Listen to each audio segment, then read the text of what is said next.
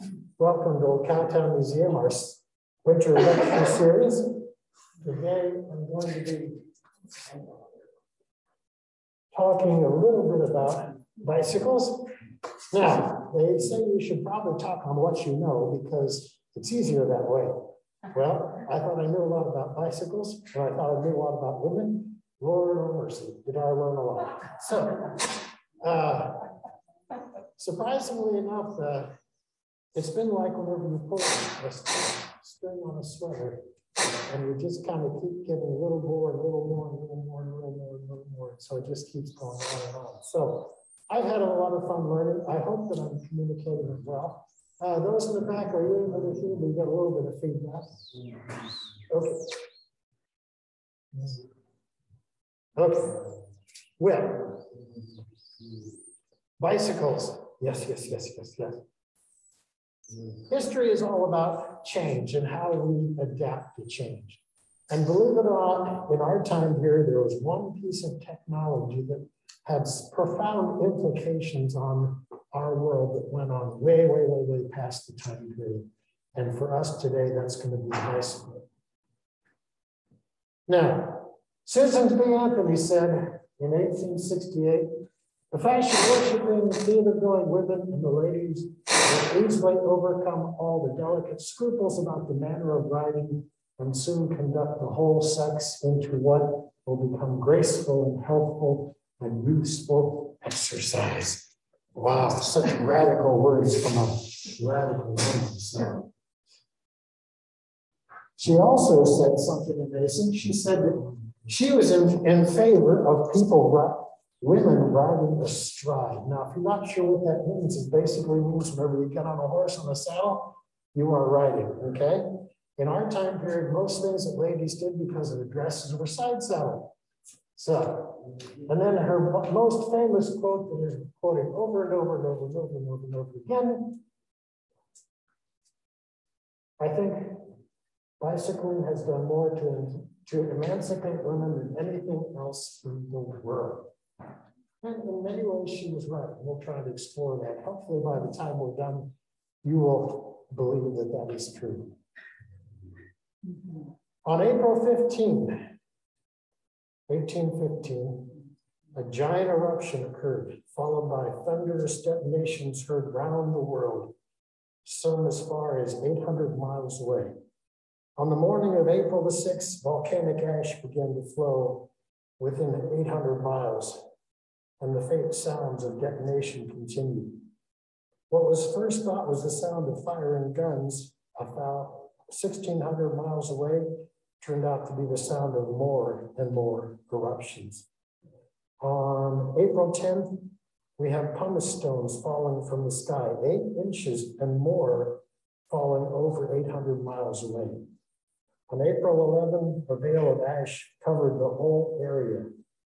This went on for the next, well, four months or four years, the effects. So, what in the world was going on? We had the largest volcanic eruption that has ever happened in recorded history. And it did something that was really, really, really amazing. It basically changed our climate.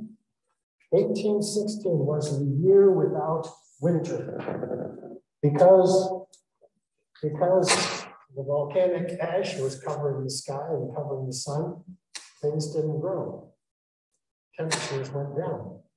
And it's utterly amazing. I like this little blue section right there. That is probably the one that's the hardest hit areas. But what I couldn't find, and wish I could find, was a map that showed the US. Uh, the northeastern part of the United States, from about Massachusetts on up, would have been about that same color of blue. Fields and crops died. Horses died by the hundreds and thousands because there was no food for them. The eruption had a had a about three-year time where it was slowly building and things were not going well. Farmers were not doing well. Um, this right here is the Thames River. The Thames River in England goes over for the first time in recorded history, and people are ice skating. 18 inches of snow in June in Waterbury, Vermont. on July 4th, they had snow. All of their fireworks were, were snowed out. What in the world is going on? In the world without summer for that 1816, there was a gentleman by the name of Baron Karl von Drais, and he developed one of the first practical usable bicycles. Now, if you know any history about bicycles, Leonardo da Vinci is said to have sketched one out. Um, folks over in China have one that possibly was sketched out. Not sure whether it actually went into practice. The Italians have a couple. But as far as someone, something that was usable and well used, uh, Mr. Drais was the first one. Now, one of the challenges I had in researching is that he's German, so the Ross machine, but whenever he transported it to England, it was called the Draisine, and whenever they transported it to French, it was again the Draisine. Whenever I was researching, I thought, oh my gosh, there's three different vehicles. How can this be? And so it took a long time for me to figure out. So this turns out to be one of the first bicycle crazes that sweeps the whole world. Well, I should say Europe and, and the United States. Um, they import this bicycle over to the United States, and for a while it's used. Now, the, the funny thing about it is that it's basically something you straddle. You can move the handlebars, but you basically push it with your feet as you go, which is very, very, very interesting. Now, um, on one of the time trials, one of the races that was involved in, it went up to eight miles an hour. Not a bad deal. Now, the reason why it was so important for the Baron to have this device was that he was in charge of Her Majesty's Royal Forest. And so he had to go and inspect the forest and make sure everything was fine. But there were no horses because they, a lot of them had died because of the drought or because of the, the uh, volcanic ash. And so he being a decided that he would create something and it seemed to have worked very, very well for him. The only problem is brakes, eh, not so much. We've got good heels. That's, that's a bit of a problem. So now we do consider the ladies. Here we do have uh, a basket attached to the front so that he can he can uh, guide one of the ladies around. And so that was one, one uh, accommodation. Now, in our time, actually any time, people who have ideas, their ideas are cobbled upon and modified and changed and that sort of thing. This may become too tiresome. I'll see what. In 1819, a coachmaker by the name of Denis Johnson took his design and said, I'm going to make a better one. Instead of wood, he created a metal piece and he kept pretty much everything else the same, except where wood was involved, he created metal and used that instead. He also made an accommodation for the ladies. He thought that it was very, very, very important that ladies experience the same type of thing that he was providing for the gentlemen. Now, you'll notice what kind of clothes the ladies are wearing. Uh, with a little drop right here, ladies can continue following the fashions of the time and everything as well. This has this will change in just a little bit. In 1839, it is rumored that there is a gentleman in Scotland that created a new type of bicycle. He took the two-wheel, he took the two-wheel arrangement, but he created pedals that go with it, and these pedals go to a rod, which go to a rod here that's going to drive the shaft. And so it kind of has this kind of motion going on and on and on and on and on. Now, it, it never caught on, but there are some scholars that are skeptical that it even existed. Um, his great grandson, I believe, was one of the proponents of it. He was one of the ones that created the model. And so some people are not even sure that it actually, actually existed. Although there was one report in the newspaper of, of a, a, crash. A gentleman on a strange vehicle ran into a lady and he was fined. I think it was five shillings or something like that. And so that's one of the things that they say, well, see, it actually existed. Well, okay, we'll have to see that. But anyways, the idea is that once you put an idea out there. People are going to work with it, modify it, change it, and move it to their own types of things. Now, there was a gentleman by the name of Willard Sawyer in Dover, England, and he decided enough with this balancing type of thing.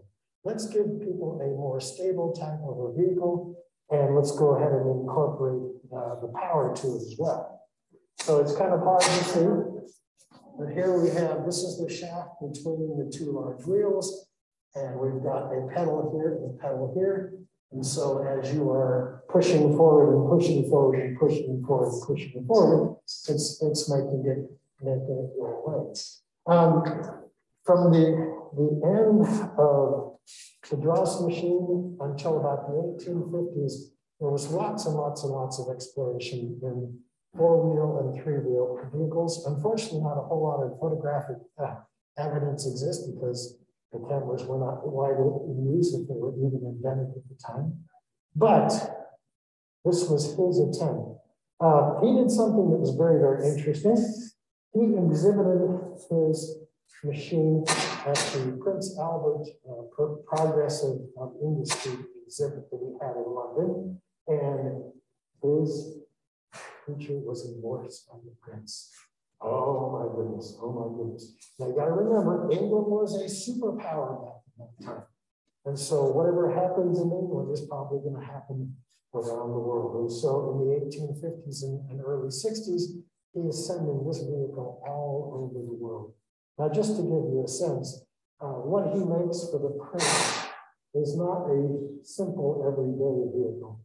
Notice the night scroll work and and the like, but it's still basically basically the same. Um, one thing that we have over and over again, unit brakes.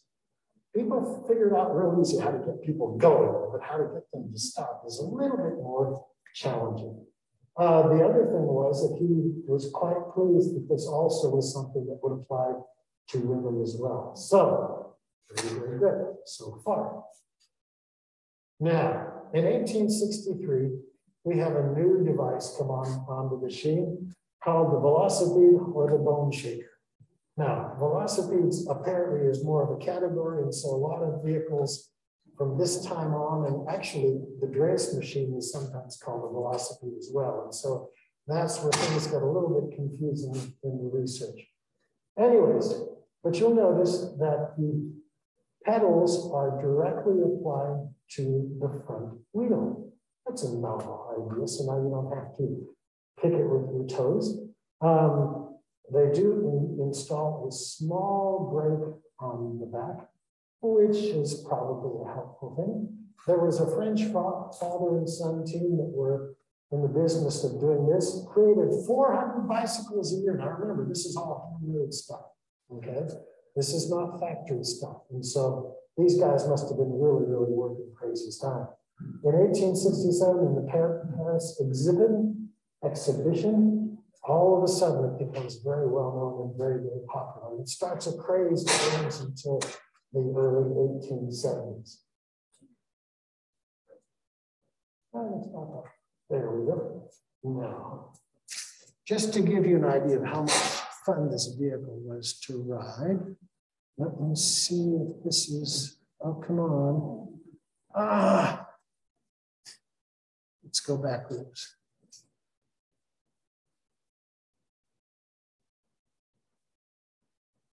Ah, there we go. Now there's no sound for about the first 30 seconds or so. Except for that sound.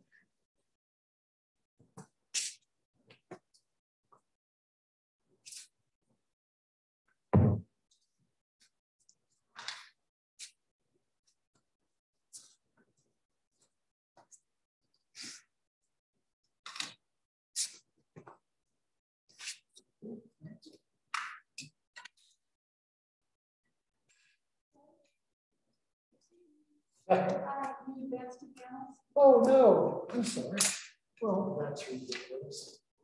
Let's see if I can get it to start again.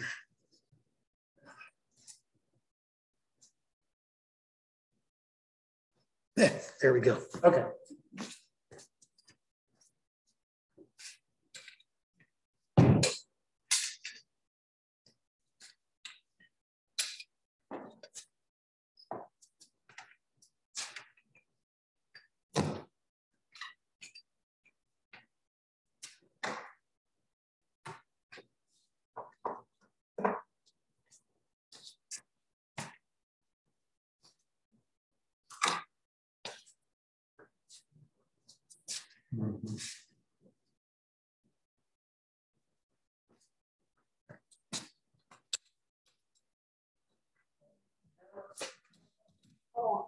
Grief. I'm so sorry. How far along was it?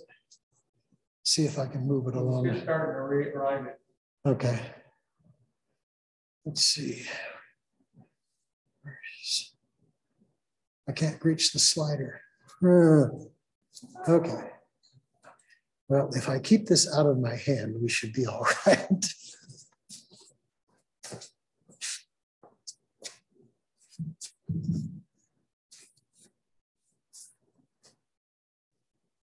Now, the one question that I had, the one question that I had that this video kind of answers is how in the world are you going to get off this thing and how are you going to start it?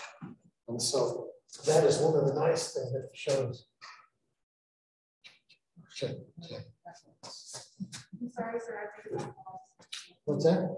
It's on pause. Yeah, it's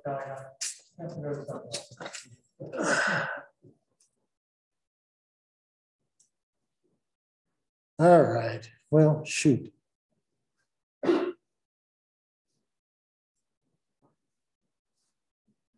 Will you let me go forward? Okay, well, what I was hoping to show you is number one, because, because the wheel the pedal is attached to the steering wheel, every time you step on the wheel, it's going to make the steering wheel go one way or the other. And so it's a very challenging thing to drive in the street. The other thing is, um, it is low enough to the ground that to get on it, you straddle it, and then you lift one foot and you put it on, and then you pedal away. Now, is this going to be a problem for ladies, do you think? Ladies in dresses? I think this is going to be a real bit of a problem. So that was one of the challenges. Now, this thing was so popular, it went off like gangbusters. Um, we have all sorts of schools and rinks and uh, races that happen. The idea of personal transportation plus the, uh, the racing that went along with it was just, just utterly phenomenal. And so there's a couple of, of graphics of that. Um, the graphic should show you a little bit why people didn't think it was that easy to uh, figure out how to write. So. Now, as I said, there were innovations. As soon as you put an idea out there, there are all sorts of innovations. This is my favorite one, the American Clipper unicycle. How would you like to have a wheel go round and round and round your head? I don't know if I want to do that. Here we have one that goes on the ice. We have ice skates on either side. We've got hobnail tires. Here we have someone that's, we've got a shaft to a, to a paddle, and so you can paddle the ladies around. We also have steam power being applied. For those steampunk people, I've got another slide coming up maybe intriguing. Here you go. 1867, we have a steam powered velocipede. Holy cow. I don't know if I'd like to be riding with this thing coming out the middle of my back. Um, he continued to work on it. Uh, 1896, he was demonstrating another version. And I couldn't quite tell from the biography whether or not it actually blew up or he had turned it off in time or just what exactly, but it didn't end out well because that was the end of his life. So, so innovation, innovation, innovation. Now, here in Kansas, because it started on the coast and comes our direction, it takes a little bit longer. Um, it's pretty much the same experience as what happens back on the East Coast. We have lots and lots and lots of people that are interested. It's coming, it's coming, it's coming. It's kind of like the railroad. The railroad is coming, the rail velocipedes are coming, velocipedes are coming. And they do, they eventually get here. Um, people are amazed at the speed, personal transportation, messengers, delivery, and general transport. The thing that I find most interesting is one of the reasons why this vehicle fails to catch on and why the craze dies is trying to find a flat surface to ride on. Why didn't it catch on here in Kansas? It should have kept going and going and going. But we have now opened the door of what could be possible. And that'll set the stage for future, future events. Now, now The advent of the bicycle stimulated a great controversy about the woman's proper role in the world because ladies, as soon as this new technology arrived, they wanted to be a part of it. They wanted to jump on it and join it as well. Many critics of the bicycle riding threatened, said that it threatened women's health, morals, and reputation, and it, as it facilitated an unprecedented degree of individual mobility and independence. Oh dear. Oh dear. Questions of if you should ride, how you should ride, where you should ride, and who you should ride with were constantly debated over and over and over and over and over again. Now, right before the Velocipede came to Kansas and to the United States, we had a race in France that demonstrated the fears that many people were concerned about. Now take a look at that picture and then Harper's Weekly they drew illustrations of it as well, but what did they do? They put undergarments on the ladies' legs because in our time period, proper ladies would never ever show their legs. And so, had they shown the previous slide, uh, Sodom and Gomorrah is coming, is coming. In the popular press, this is what the critics were fearful of. What do you think, ladies? My goodness, give ladies a little bit of freedom and you're going to open wide. It's going to go crazy. So, 1827, and this was the popular attitude. What are women intended for in civilized society? To enchant mankind by feminine loveliness of person, grace society by the gentleness of her mind, contrast with the rougher sex of her own, far more exquisite fineness of spirit and divine sensibility of the souls. The angels in disposition has informed and so beautifully discharge all those duties which humanity assigns them as the fountains and nutrices and consolers of the race, that it might seem rather beings be adored than mere equals and companions of men. How do you think that? Not mere equals? Hmm. To the gentle and proper exercise of youthful females in school, we have no objection. But when you teach grown women, wives, mothers, and aunt and grandmothers to handle a pipe, jump over a dinner table, how is it possible that gymnastical education would be good? For our parts, we would rather have their muscular powers never brought into full action. They are so delightful as they are that we would not for all the world run any risk of spoiling them or altering them. Don't you ladies feel good? now, the woman question is something that has plagued our time period, and really because there is so much change going on, um, it's always been a part of human history, but in our era, uh, there are lots of people raising questions about it. And so we have lots and lots and lots and lots and lots of conversation, or I should say dialogue in the newspaper. Um, women were seen as a product of their biology. Their natural state was to be nurturing, passive, emotional, spiritual, frail, and even sickly. Oh my goodness. A whole woman's being was, was seen to be controlled by her reproductive system. All mental and physical disease could be ascribed either directly to disorders of the reproduction or pathological changes in other parts of the body. Oh my. Physicians claim because they had knowledge that and, and authority that what they said was true. And so they put out lots and lots and lots of treatises that were that were not um, challenged because they were the official people. They believed that there was a force in the body, a limited amount of force. Sounds a little bit like some Chinese philosophy to a degree. But women, by studying and acting physically, they were going to be evacuating some of that force. And so we need to make sure that we protect ladies from overexertion and sweat. Oh, now some some people might agree with that. I don't know, but the over the sweat part. So. Caution: uh, exercise is necessary for the constitution of women is adapted only to moderate exercise, and the graces cannot be reconciled with fatigue and sunburning. Over and over and over, you will find medical treatises talking about fatigue. We do not want ladies to get fatigue. Fatigue is the worst thing that could happen to a lady. over, and over, and over again. So, whoops. Pain should be taken to guard against catching cold after exercise. And this seems sort of, sort of um, natural and good information. Uh, prevailing attitudes, though, were slowly being, being changed. Uh, the Industrial Revolution moved people out of the fields into the factories. Life became a lot more sedentary, especially for the middle and upper classes. And they found that had all sorts of diseases, and one described degenerative influences of luxury. Well, there you go.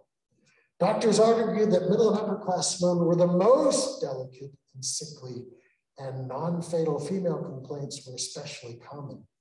Late hours of luxurious living, bad air, and the wanted exercise had made them mere effigies of women. But class Servants, factory workers, and poor women did not, did not seem to have a need for a week of rest during menses, and they got plenty of exercise from their work. Hmm, what's going on there? So, health reformers in the 1800s believed that the basic belief that better diet, fresh air, exercise, education about physiology would be good for all men and women. I noticed there's a statement about restrictive clothing. Uh-oh, uh-oh. So how much exercise should a girl engage in? Well, whenever girls are young, they should run and jump and do whatever they feel like doing, long, as long as they are engaging their fatigue, don't get fatigued. But girls from the earliest, they have to be encouraged to activity because girls would rather sit in the garden and talk with their friends. And, you know, they're not really active people like boys are. Regular exercise is essential in young women because of the later life is going to be even more sedentary. Oh my goodness. Past puberty females had to be careful not to over exercise. Injury doesn't result from sudden, sudden overexertion, but the daily repetition permanently impact, impacts. So there you go. There you go. Now, what exercises are appropriate? Well, any game that, they, that boys can play whenever they're young, as long as they're not athletic, because those are required for boys. Hmm, that's interesting. Trundle and hoop, which we have our girls do out here a lot. Exercising the most, the legs, the muscles of the body, that's great. But girls past the age of 12, exercises were generally not advised. You need to slow down. Activities that were, prop, were smiled upon calisthenic, dancing, horseback riding, and walking. Now, calisthenics, believe it or not, were the first major trend back in the 1830s. They were German in origin and they were imported. It was quite a fad up until the 1860s and early 70s. They were really, really, really something that ladies were supposed to do. Um, they even have um, exercise equipment, some that looks like a total gym if you've seen those infomercials.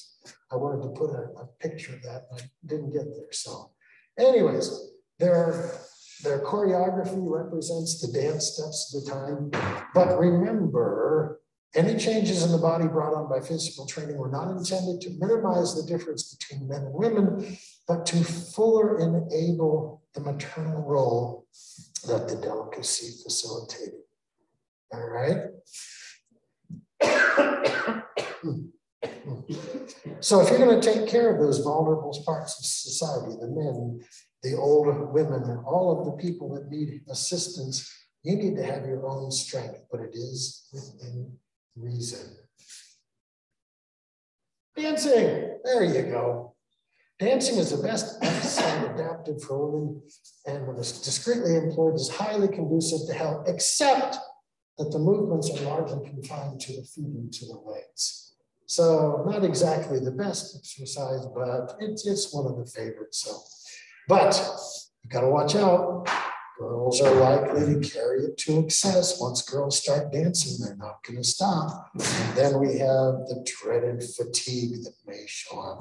So, whenever you have these violent dances like reels and waltzes and schottisches, eh, you probably need to sit back on some of those and sit out on some of those. Now, horseback riding. Horseback riding is the most energizing exercise that women can do. But you need to be careful whenever the young girls are, are out riding, they need to make sure that they keep a proper posture straight up and down because you don't want to slouch and that sort of a thing. So if riding can be recommended on account of health, girls should be taught to ride both sides of the horse to present the twisting of the body. Now, everyone knows what that means, right? With dresses in our time period, ladies did not ride astride. They rode side saddle. And if you've ever seen a lady, lady riding side saddle, it's a bit of a contortion activity. So make sure that if they go down the field in one direction, that coming back, they switch sides and go down the other way.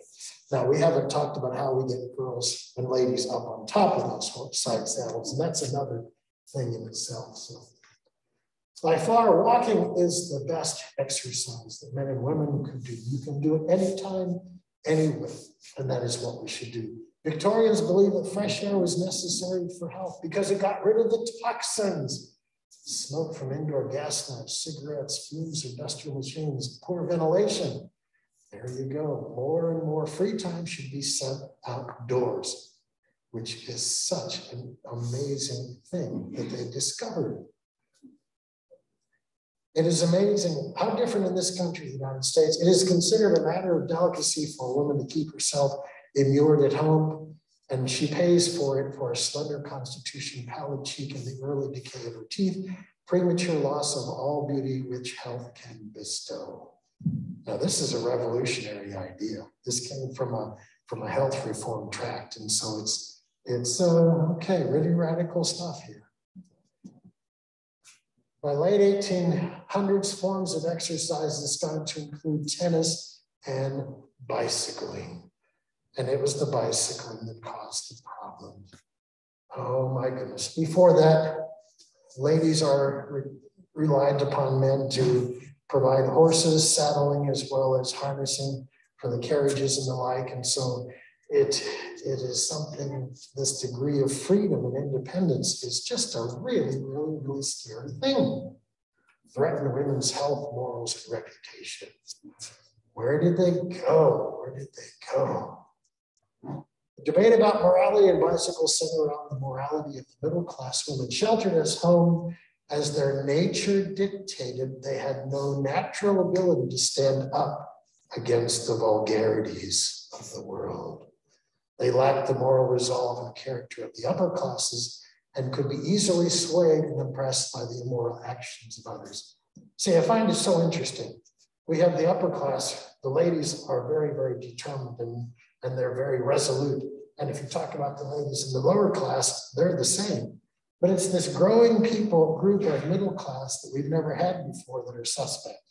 And I find that very, very, very fascinating. Based on previous knowledge, the kind of women who deliberately made themselves conspicuous in public, prostitutes, the assumption was that cycling was far from respectable. Not exactly prostitutes, perhaps, but possibility limit of, of loose morals with an underdeveloped sense of propriety.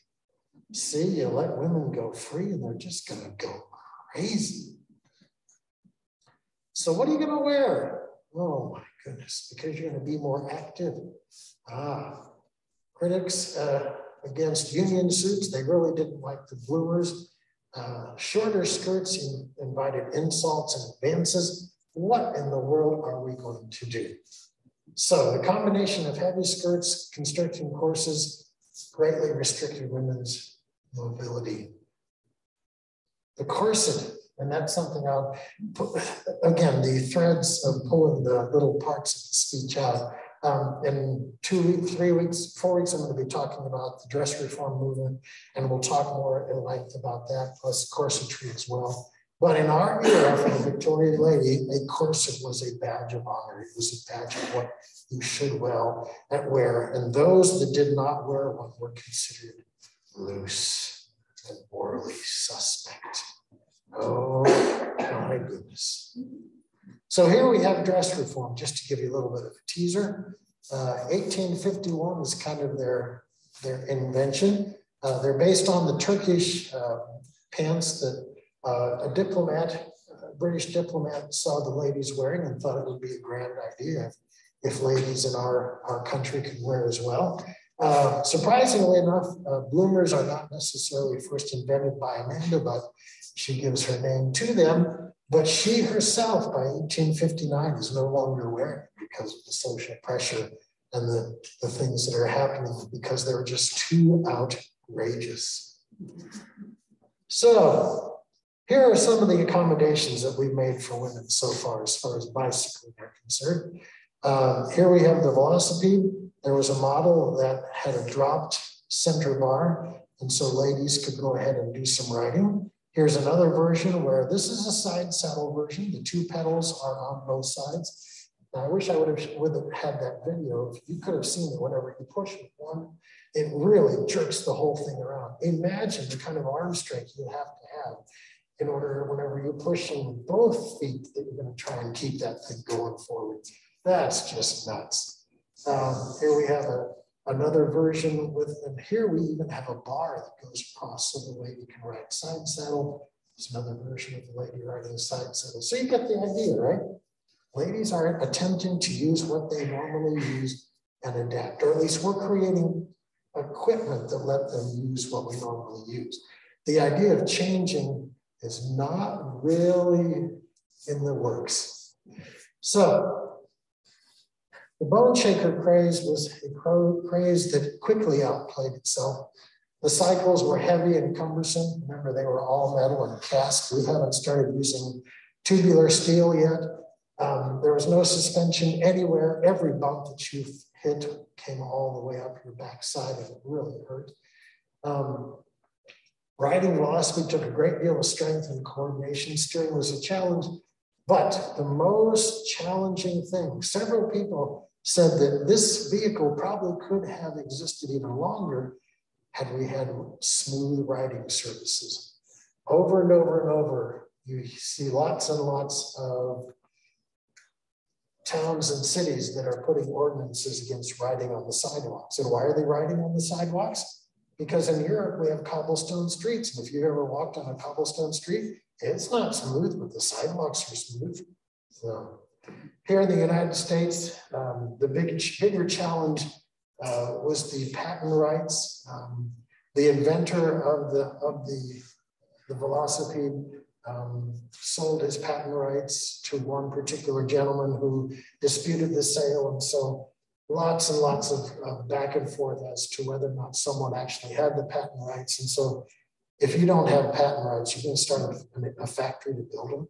Probably not. And so that pretty much died. So now from 18, 18, well, over in England, over in England and France, we've had an interesting dimension. I heard some people talking about the, the bicycle up front. Um, the faster that you can go with the velocipede, the smoother your ride is going to be and the farther the distance you can go. And so people started experimenting and notice what happens. That front wheel gets larger and larger and larger so that you can go faster the only problem is the taller you get, the more stability that you really, really don't have. Now, one of the challenges also is that they had something called a spoonbill brake. I wouldn't bother wasting my time with it because it really isn't that much of a help. Um, whenever you're going downhill, I can only find a modern picture of it. What's this guy doing? Coasting. He's coasting, and where is his legs? Remember, the uh, the wheels are not, the wheels are going to constantly turn. You can't just let them coast. And so whenever you're going down a hill, you put your legs on top of the handlebars.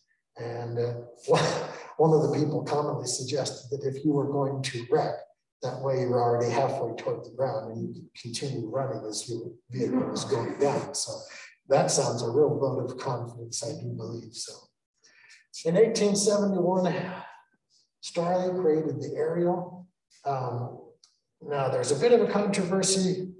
Um, Eugene Meyer is the one that supposedly uh, is now recognized as the one that created the spoked wheels. Up until this time, the Velocipede basically used carriage wheels, and it's basically a single shaft. We're now putting V-shaped V-shaped spokes in our wheels, and that's going to help them.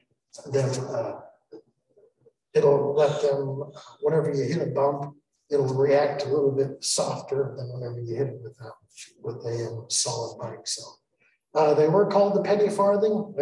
I thought that was kind of a common term. Uh, several people said that it was a very dis disparaging word, which sorry, but the penny for the English and the farthing, so that's how he gets his word. So, um, but Ariel, whereas they say that Meyer was the founder and creator of it, uh, Starley was the one who really promoted it. He basically becomes the father of the English uh, bicycle trade.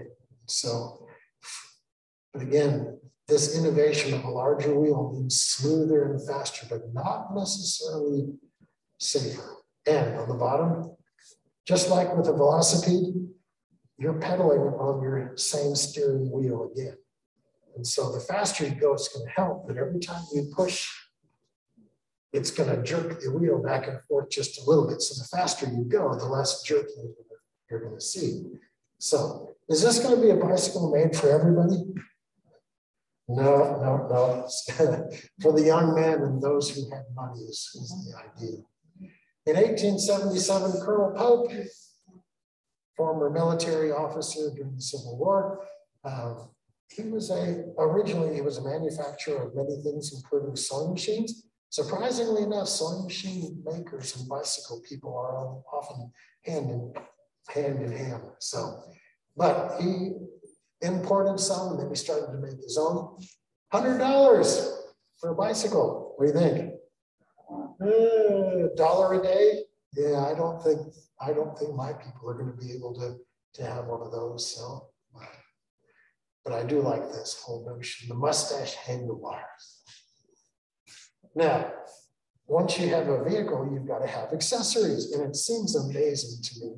Here we have a, a camera that you can mount um, there's also a platform that you can buy that you can put a basket on top. And I'm like, really? That would be something you want to do? And then I love this. This is from a German public, publication showing all the gymnastical possibilities of the, of the high wheel bicycle. But unfortunately, taking a header was often the result of riding a high wheel bicycle. And here we have a mass conflagration of, of uh, five guys who are out on a bicycle ride uh, in the southern part of England, and one went down and then they all went down. So kind of a scary. Now, in 1880, using American ingenuity, seeing how dangerous the motor vehicle was, so Mr. Smith said, hey, what if we switch it around? We'll put the small wheel on the front, and the possibility of you going over the top is going to be lessened greatly. Um, what he hadn't counted on, though, was the number of people that were kind of recoiling and then they, people were falling backwards instead. But anyways, supposedly a, a big leap forward in becoming safer. So now, if women wanted to try, they either had to transgress the dress code, and thus the ethical code, exposed legs are not proper and trousers are inappropriate, or they could opt out for women's bicycles. Women were obliged to ride side saddle. Believe it or not, this lady here is riding side saddle, and we have one long pedal that she can go ahead and pedal with. That sounds that seems attractive too. Now the other two pictures. This is a very famous uh, German woman. These two folks are entertainers, and there seemed to be a lot of a leeway in uh, in uh, entertaining what kind of clothes you were, and that was a little bit okay. But uh, it was happening. But for the everyday woman, eh, that's going to be real iffy. So. So here are some of the accommodations that we were making for ladies in our time period. Believe it or not, the majority of ladies did not want to give up their proper formal dress and jump onto a bicycle. They wanted to keep the style of clothing they have because the radical dress was just too radical. So here we have a, um, a, a, steering mechanism that is a pole instead. And so you power it like this. So that would be a lady's vehicle. Here we have a, a, a a tandem bike that, um, now the question becomes whenever you're riding a tandem, is the lady in front or the man in front? Well, the, man should be in the back because he's the one that supplies the power, but the one in the front is the one that gets to steer. So what are you gonna do? I don't know. There was lots of back and forth on that as well. So by 1870s, oh, um, these side-by-side bicycles are called sociables because you can you can be sociable with each other. Um, you, they also have a new occupation that never existed before. Uh, we have a paid companion who can go ahead with the lady whenever they're riding through town. Uh, this probably, with this uniform on, is probably not the husband, is most likely a paid companion. So we don't want those girls to still go out on their own. Uh, we also have a, a bit of a tandem creation here with, with two ladies front and back. Now, the same gentleman that created the Ariel bike creates the Coventry rotary bicycle.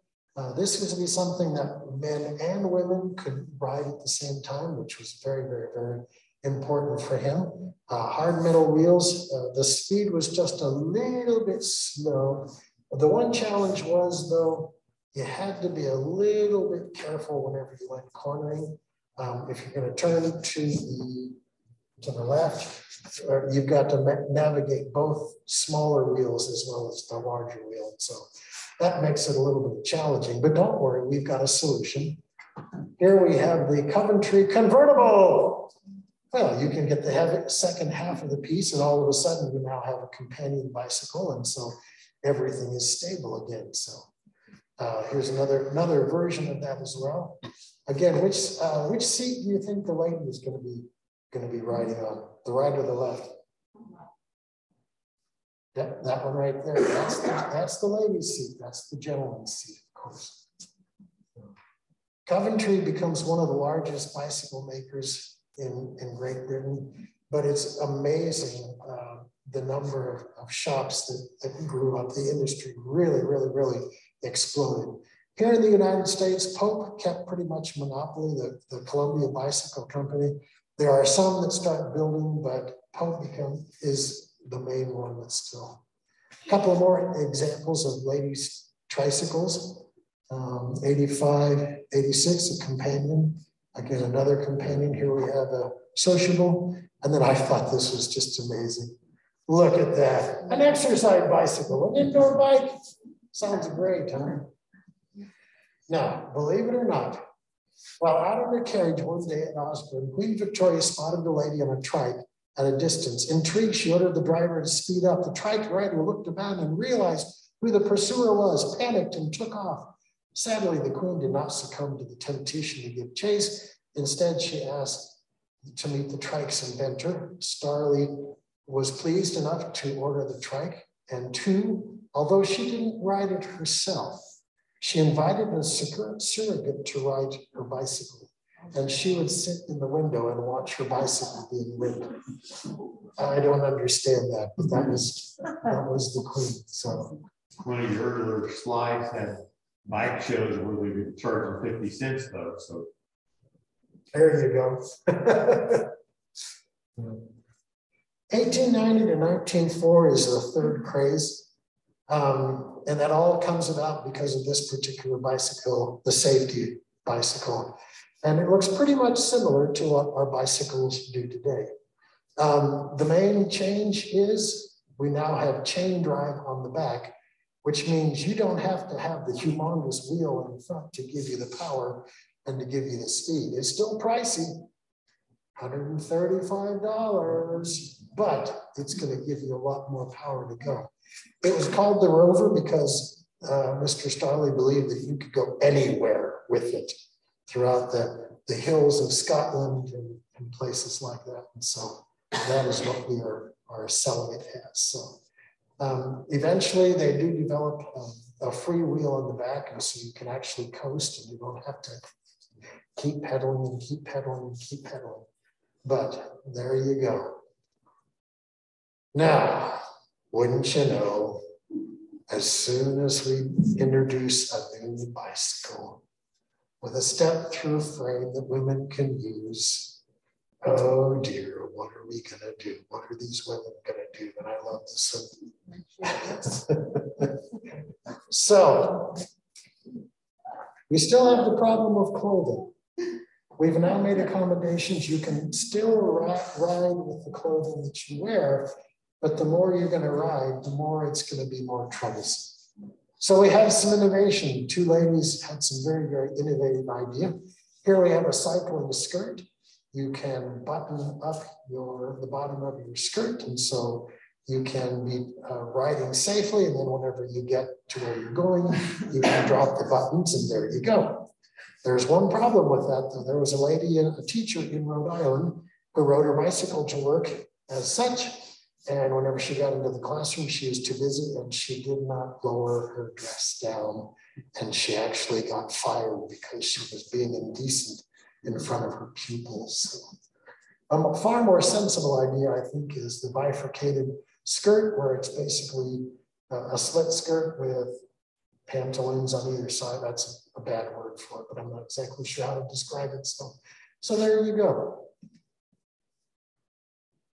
Bloomers. They're coming back, coming back.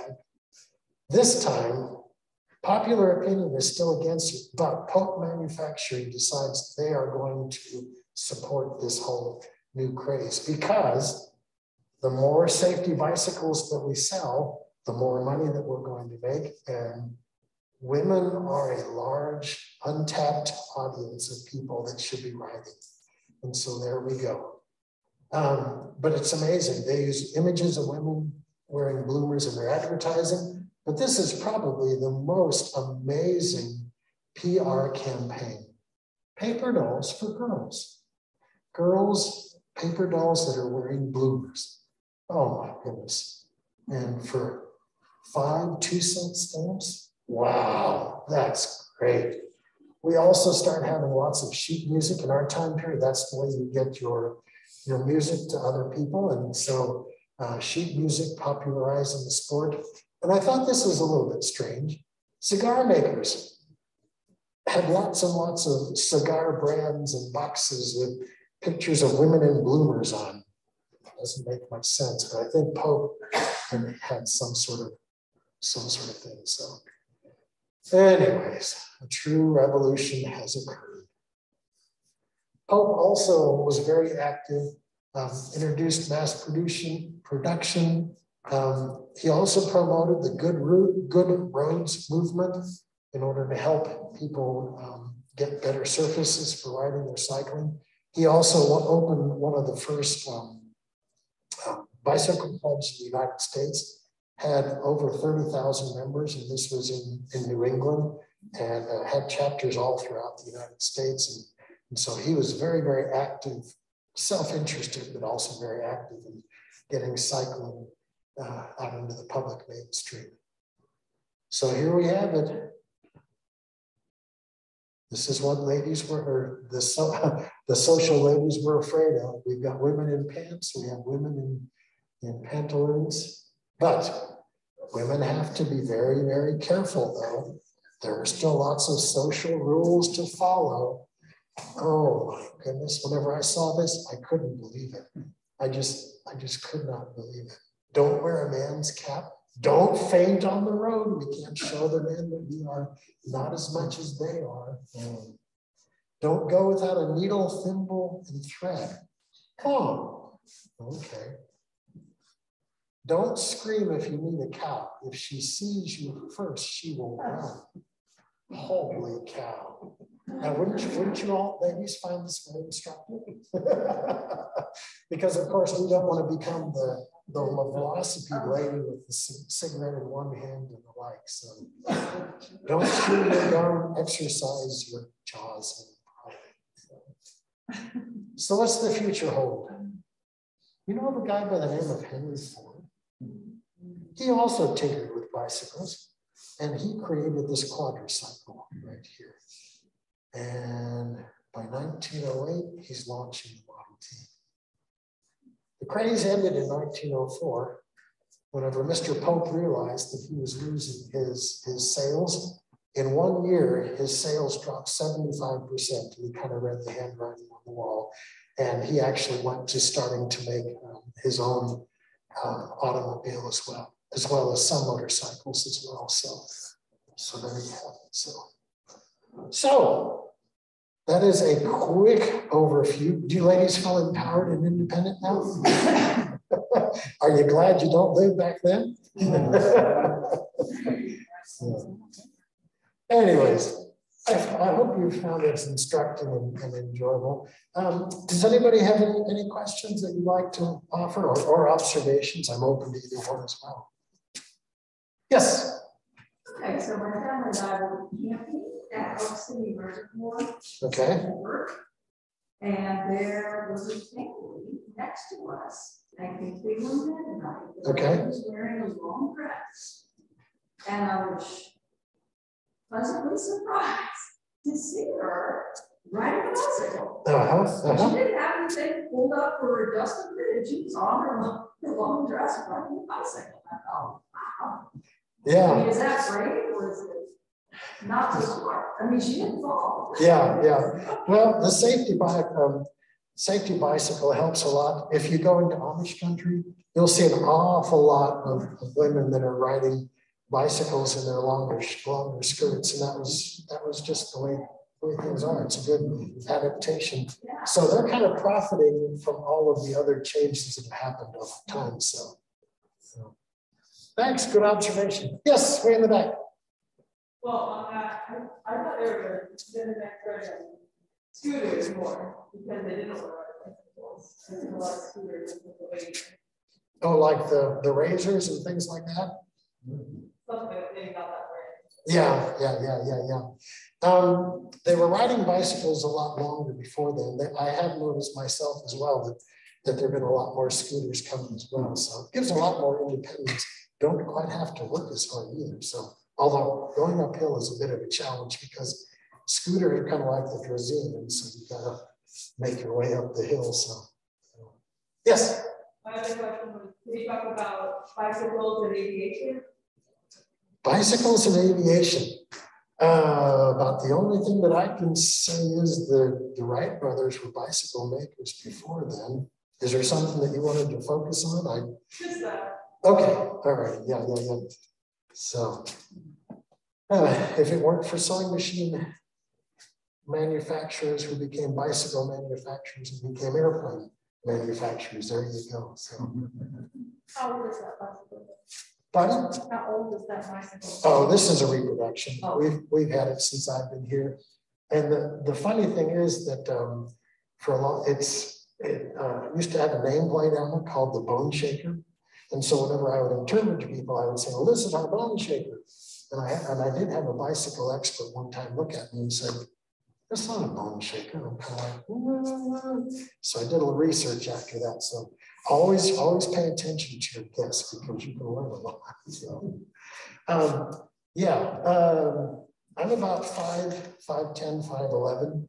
And if you saw the, the numbers for the Coventry, five, five, six foot was about the average height of the bicycle, bicycle wheel.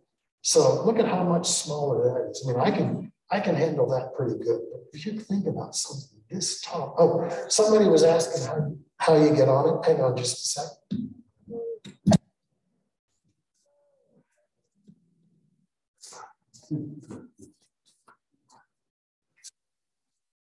So fortunately, they developed a peg that you keep on the, on the back, and you basically just hop along. And as you get enough velocity going, you can step onto that peg, onto the seat, and away you go. Now, I've seen some pictures, and there was a video that I was going to use and didn't. But with those tall bikes, I mean, they're showing guys holding on this high and then stepping and climbing up. I don't know. For me, the, the stretch from here to here, I think would be a little bit challenging. But anyways, they were quite a feat of accomplishment. So my mother was driving side, what did she make? Um, Both feet on one side. oftentimes she would start, go to a, a stump or a, a porch or something like that. And so, Could go very far. yeah, well, I mean, I think it's amazing because what helps you stay upright is the momentum you have going. And uh, so if you're a lady that started out and is riding side saddle, somehow, I mean, you have to really be counting on that big first push to really give you enough momentum to keep you going.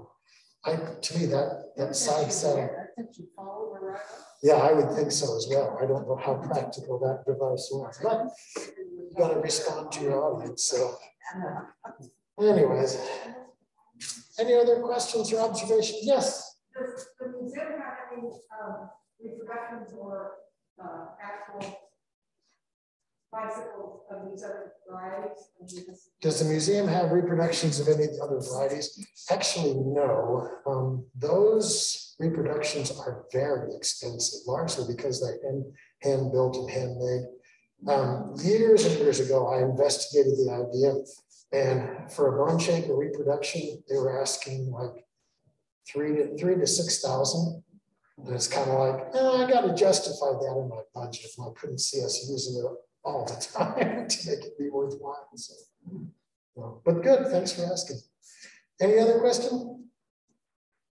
Yes. Offhand, the, the, like when the bicycle you said it's hundred and thirty-five. What would that be today? Well, it's, money's a terrible thing to talk about because in our time period, there were less consumer goods. And so your money was actually worth a lot more, so to speak. But generally, the, the, the price calculator that I usually go with is about $78 for a dollar in our time period. And so, yeah, you're talking about maybe a $2,000 machine. Yeah, so that gives you an idea that not everybody's going to be able to, to afford those. Yes, A lot of labor back then only made about fifty cents a day, yeah, if that. right, right, right. Yeah, depending on the trade and the like.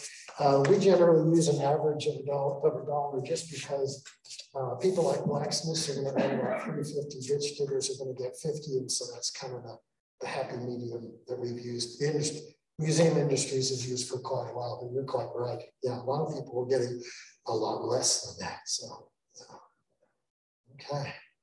Yes. So I noticed some of those bicycles, well, tricycle and these bicycles before that, to me, they look more like buggies almost, when they were sitting side by side. Uh-huh. It was never a Uh-huh, uh-huh. But they were still called bicycles. Uh, And they were velocity, pulled by a horse, maybe that well, velocipedes, as long as you're powering the front wheel and it's not chain driven, that's kind of the dividing line. And so, yeah, you're right. Velocipedes, bicycles, uh, and the terminology is not terribly well used by everyone. So yes, that's my confusion as well. Bicycles were initially called wheels. Yeah, very good, very good. Wheels. Mhm. Yeah. Anyways, well, any other comments or questions? Okay, all right. Looks like we're gonna get you out of here in time for some evening activity. Uh, the twenty-seventh of February, we have prohibition in Kansas. Come learn about uh, alcohol. Are you gonna serve alcohol? Fire is still up. Or maybe we can do a BYOB, I don't know. So, Thanks a lot for coming out. Enjoy your.